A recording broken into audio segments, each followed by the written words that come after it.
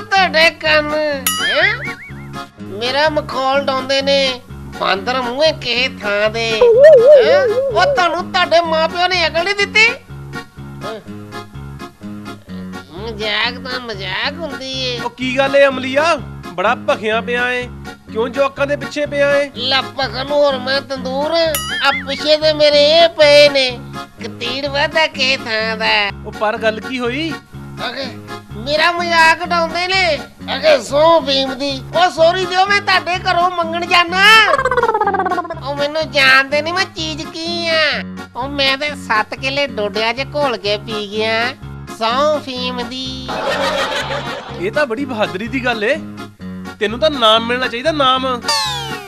ਐਵੇਂ ਗੁੱਜੀਆਂ ਹੋ ਜਾਣਾ ਮਾਰ। ਐ, ਆਕੇ ਮਾਰੂ ਮਸਕਰੀਆਂ।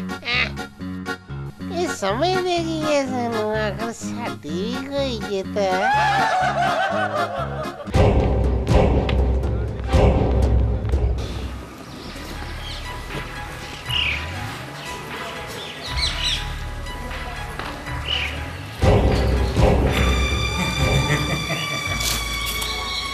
ਸਤਿ ਸ਼੍ਰੀ ਅਕਾਲ ਜੀ ਸਤਿ ਸ਼੍ਰੀ ਅਕਾਲ ਜੀ ਆਓ ਜੀ ਆਇਆਂ ਨੂੰ ਬੈਠੋ ਪੁੱਤਰ ਜੀ ਬੈਠੋ।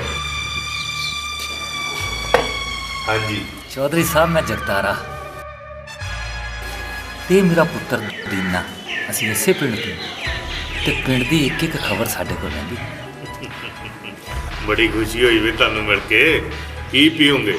ਦੁੱਧ ਚਾਹ ਜਾਂ ਫਿਰ ਪੈਕ ਸ਼ੇਕ ਚੌਧਰੀ ਸਾਹਿਬ ਚਾਹ ਪੀ ਕੇ ਕਲੇਜਾ ਫੂਕਣਾ ਜੀ। ਥੋੜੀ ਜੀ। ਉਹ ਕੁਝ ਕੀਤਾ ਬਈ। ਓ ਸ਼ੇਰੇ ਪੁੱਤਰਾ ਆ ਬੋਤਲ ਤੇ ਕੁਝ ਖਾਣ ਪੀਣ ਨੂੰ ਲਿਆ।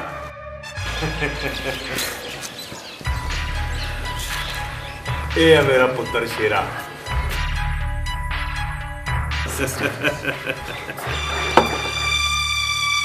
ਆਜਾ ਕਾਕਾ ਤੂੰ ਵੀ ਨਾਲਾ ਹਰਾ। ਨਹੀਂ ਜੀ ਮੈਂ ਸ਼ਰਾਬ ਨਹੀਂ ਪੀਂਦਾ। ਪਹਿਲੇ ਤੋੜਦੀ ਆ। ਤੂੰ ਵੀ ਕੀ ਯਾਦ ਕਰੂੰ? ਕਿ ਚੌਧਰੀ ਗੁਰਜੰਟ ਸਿੰਘ ਦੇ ਘਰ ਗਿਆ ਸੀ। ਲੈ ਵੇ ਕਾਕਾ ਚੱਕ ਦੇ। ਉਹ ਪੀ ਲੈ ਪੀ ਲੈ। ਇਹ ਵੀ ਤੇਰੇ ਪਿਓ ਵਰਗਾ ਹੀ ਹੈ।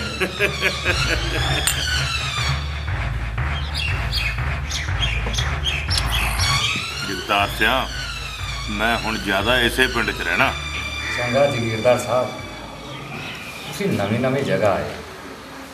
ਤੇ ਨਵੇਂ ਲੋਕਾਂ ਤੋਂ ਥੋੜਾ ਖਬਰਦਾਰ ਰਹਿਣਾ।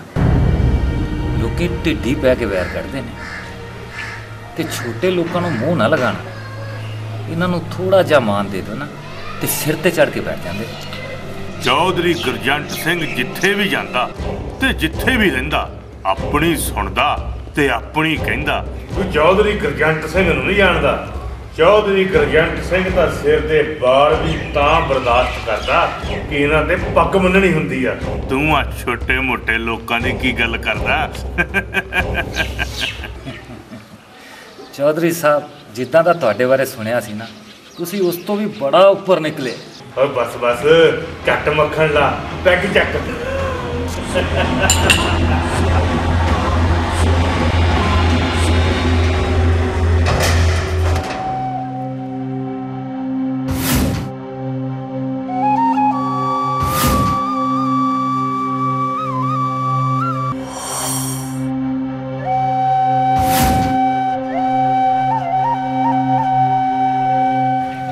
ਗੱਲ ਬਾਪੂ।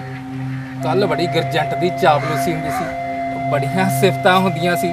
ਲੱਗਦਾ ਹੈ ਉਹਦੇ ਨਾਲ ਗੂੜਾ ਪਿਆਰ ਹੈ। ਓਏ ਪਿਆਰ ਹੋਰ ਕੁਝ ਨਹੀਂ। ਨਵਾਂ ਨਵਾਂ ਸ਼ਿਕਾਰ ਆਇਆ ਸ਼ਹਿਰੋਂ। ਤੇ ਤੈਨੂੰ ਪਤਾ ਸ਼ਿਕਾਰ ਨੂੰ ਹਲਾਲ ਕਰਨ ਤੋਂ ਪਹਿਲਾਂ ਪਿਆਰ ਤਾਂ ਕਰਨਾ ਹੀ ਪੈਂਦਾ ਹੈ। ਕੀ ਮਤਲਬ ਬਾਪੂ? ਓਏ ਗੁਰਜੰਟ ਬੜੀ ਤਗੜੀ ਸਾਮੀ। ਮੇਰੀ ਤੇ ਅੱਖ ਉਹਦੇ ਤੇ ਅਦੋਂ ਦੀ ਸੀ। ਜਦੋਂ ਸ਼ਹਿਰ ਰਹਿੰਦਾ ਸੀ ਤਾਂ ਸ਼ਿਕਾਰ ਖੁਦ ਚੱਲ ਕੇ ਸ਼ਿਕਾਰੀ ਕੋਲ ਆਇਆ ਹੈ ਬਾਪੂ ਉਹਦਾ ਮੁੰਡਾ ਬੜਾ ਪੜਿਆ ਲਿਖਿਆ ਏ ਬੜਾ ਤੇਜ਼ ਹੈ ਉਹਨੇ ਝਟ ਸਾਡੇ ਚਿਹਰੇ ਪੜ ਲੈਣੇ ਆ। ਓਏ ਉਹਦਾ ਤੋੜ ਤੂੰ ਐ ਤੂੰ। ਕਹਿੰਦੇ ਨਾ ਕਿਸੇ ਦਾ ਘਰ ਪਟਣਾ ਹੋਵੇ ਤੇ ਉਸ ਦੀ ਔਲਾਦ ਨੂੰ ਪਟ ਲੋ ਉਹ ਕਿਵੇਂ? ਓਏ ਕਾਕਾ ਜੀ ਸ਼ਰਾਬ ਬੜੀ ਖਰਾਬ ਚੀਜ਼ ਹੈ ਇਹ ਤਾਂ ਬੜੇ ਬੜੇ ਸਿਆਣਿਆਂ ਨੂੰ ਕਮਲੇ ਬਣਾ ਦਿੰਦੀ ਹੈ ਤੇ ਜੇ ਹੱਦ ਤੋਂ ਵੱਧ ਹੋ ਜਾਵੇ, ਤੇ ਵੱਡੇ ਵੱਡੇ ਹਾਥੀਆਂ ਦੇ ਗੋਡੇ ਲਵਾ ਦਿੰਦੀ ਹੈ ਤੇ ਤੂੰ ਤਾਂ ਇਸ ਕੰਮ 'ਚ ਮਾਹਿਰ ਹੈ ਮੈਨੂੰ ਵਿਸ਼ਵਾਸ ਹੈ ਤੇਰੇ ਤੇ। ਠੀਕ ਹੈ ਨਾ?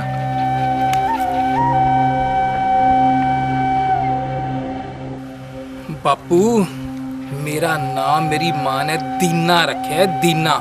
ਮਾਂ ਦਾ ਦੀਨਾ। ਤੇ ਮੈਂ ਹੈ ਵੀ ਸਿਰੇ ਦਾ ਕਮੀਨਾ।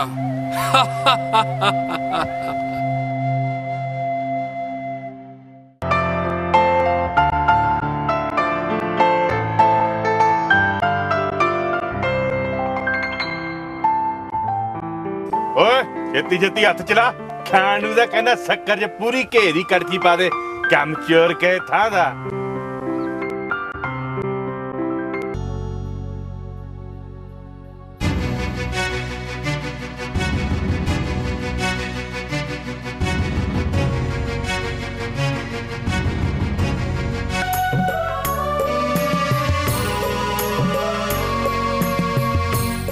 ਓਏ ਠਹਿਰੋ ਠਹਿਰੋ।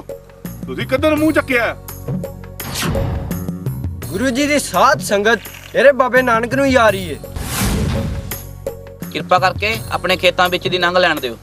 ਓਏ ਤੁਸੀਂ ਕਿੱਥੇ ਜਾਣਾ ਕਿੱਥੇ ਨਹੀਂ ਜਾਣਾ? ਮੈਂ ਠੇਕਾ ਨਹੀਂ ਲਿਆ ਨਹੀਂ ਮਾਲਕੋ ਇੰਜ ਨਾ ਕਰੋ। ਇਹ ਤਾਂ ਬੜੀ ਪੁਰਾਣੀ ਰੀਤ ਏ। ਇਸ ਦਿਨ ਨੂੰ ਤਾਂ ਲੋਕ ਪਿੰਡ ਪਰ ਸਾਲ ਭਰ ਤੋਂ ਉਡੀਕਦੇ ਨੇ। ਤੇ ਆਲੇ ਦੁਆਲੇ ਪਿੰਡਾਂ ਵਿੱਚ ਲੋਕ ਇਹਨਾਂ ਸੰਗਤਾਂ ਨੂੰ ਬੜੀ ਸ਼ਰਧਾ ਨਾਲ ਆਪਣੀਆਂ ਫਸਲਾਂ ਵਿੱਚ ਲੰਘਾਉਂਦੇ ਨੇ। ਹਾਂ ਬਾਪੂ ਜੀ, ਮੈਂ ਵੀ ਸੁਣਿਆ ਹੈ। ਇਹ ਬੜੀ ਪੁਰਾਣੀ ਰੀਤ ਹੈ। ਤੁਸੀਂ ਇਹਨਾਂ ਨੂੰ ਖੁਸ਼ੀ-ਖੁਸ਼ੀ ਜਾਣਦੇ ਹੋ। ਗੱਬਾ ਮੈਂ ਨਹੀਂ ਮੰਨਦਾ ਇਹਨਾਂ ਰੀਤਾਂ ਰਿਵਾਜਾਂ ਨੂੰ। ਇਹ ਰੀਤਾਂ ਬਦਲ ਲਈ ਤਾਂ ਚੌਧਰੀ ਇਸ ਪਿੰਡ 'ਚ ਆਇਆ। ਇਹ ਤਾਂ ਵਿਹਲੇ ਆ। ਤੀਜੇ ਕੁ ਦਿਨ ਢੋਲਕੀਆਂ ਛੈਣੇ ਜੇ ਚੱਕ ਕੇ ਤੁਰ ਪੈਂਦੇ ਆ। ਖਬਰਦਾਰ ਓਏ, ਇੱਕ ਪੈਰ ਵੀ ਮੇਰੀ ਫਸਲ 'ਚ ਪਾਇਆ ਤਾਂ ਮੇਰੇ ਤੋਂ ਬੁਰਾ ਕੋਈ ਨਹੀਂ ਹੋਊਗਾ। ਮੈਂ ਨਹੀਂ ਲੰਘਣ ਦਿੰਦਾ ਆਪਣੀਆਂ ਫਸਲਾਂ 'ਚੋਂ। ਚੌਧਰੀ ਗਰਜੰਟ ਸਿੰਘ ਨਾਂ ਹੈ ਮੇਰਾ। ਮੈਂ ਜਿੱਥੇ ਵੀ ਜਾਣਾ ਤੇ ਜਿੱਥੇ ਵੀ ਰਹਿਣਾ ਆਪਣੀ ਸੁਣਦਾ ਤੇ ਆਪਣੀ ਕਹਿਣਾ ਚਲੋ ਪਿੱਛੇ। ਨਾਨਕ ਤੇਰੀ ਨਗਰੀ ਅੰਦਰ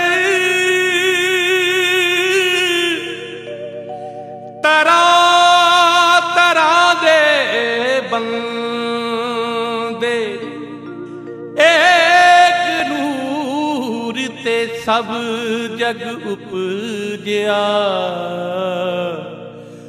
ਕੌਣ ਭਲੇ ਕੋ ਮੰਦੇ ਕੌਣ ਭਲੇ ਕੋ ਮੰਦੇ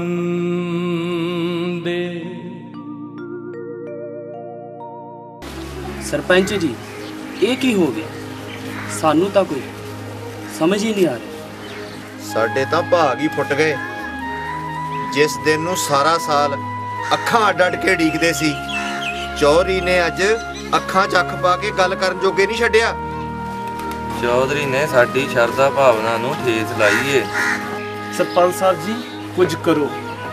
ਜਿਸ ਗੁਰੂ ਨਾਨਕ ਦੇਵ ਜੀ ਦੀ ਰਹਿਮਤ ਨਾਲ ਸਾਡਾ ਸਾਰਾ ਪਿੰਡ ਹਸੂ ਹਸੂ ਕਰਦਾ ਹੈ ਜਿਸ ਗੁਰੂ ਨੇ ਸਾਨੂੰ ਇੰਨਾ ਸਬਰ ਬਖਸ਼ਿਆ ਹੈ ਇੱਕ ਮੁੱਠ ਖਾ ਕੇ ਸਾਡਾ ਸਾਰਾ ਪਿੰਡ ਰੱਜੇ ਪੇਟ ਰੱਜੀ ਨੀਅਤ ਦੇ ਡਕਾਰ ਮਾਰਦਾ ਹੈ ਕਿਤੇ ਹਾਂ ਸਰਪੰਚ ਸਾਹਿਬ, ਚੰਨਾ ਠੀਕ ਕਹਿੰਦਾ ਹੈ। ਇਹ ਉਸ ਦੀ ਰਹਿਮਤ ਹੈ ਕਿ ਅਸੀਂ ਰਹਿਨੇ ਵੱਖੋ ਵੱਖ। ਚੁੱਲ੍ਹੇ ਸਾਡੇ ਵੱਖਰੋ ਵੱਖਰੇ ਨੇ, ਪਰ ਪਿਆਰ ਤਾਂ ਇੱਕ ਟੱਬਰ ਜਿਹਾ ਹੈ। ਇਹ ਵੀ ਉਸ ਦੀ ਰਹਿਮਤ ਹੈ ਕਿ ਸਾਨੂੰ ਕਦੀ ਨੀਂਦ ਲਈ, ਧੁੱਪ ਲਈ, ਛਾਂ ਲਈ ਅਸਮਾਨ ਵੱਲ ਹੱਥ ਨਹੀਂ ਅੱਡਣਾ ਪਿਆ।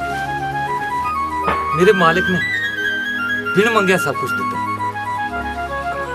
ਹਾਂ ਭਰਾਵੋ, ਤੁਸੀਂ ਠੀਕ ਕਹਿੰਦੇ ਹੋ।